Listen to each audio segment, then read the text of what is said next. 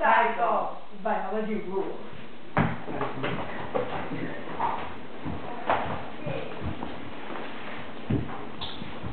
The first stage of the cell cycle is the interphase. The interphase is divided into three parts, the G1, the S, and the G2 phase.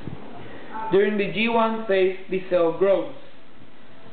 During the S phase, the cell duplicates its DNA. And during the G2 phase, the cell prepares for mitosis.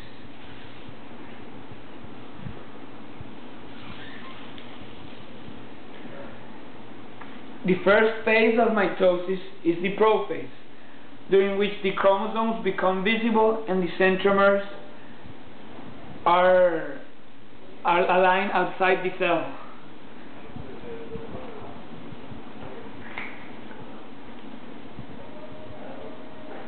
During the second stage of mitosis, the chromosomes line up in the middle. This phase is called metaphase.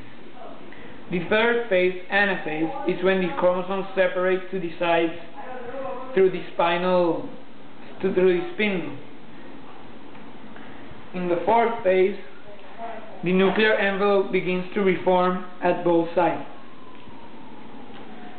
The final stage of mitosis is cytokinesis, during which the cytoplasm of the cell begins to divide.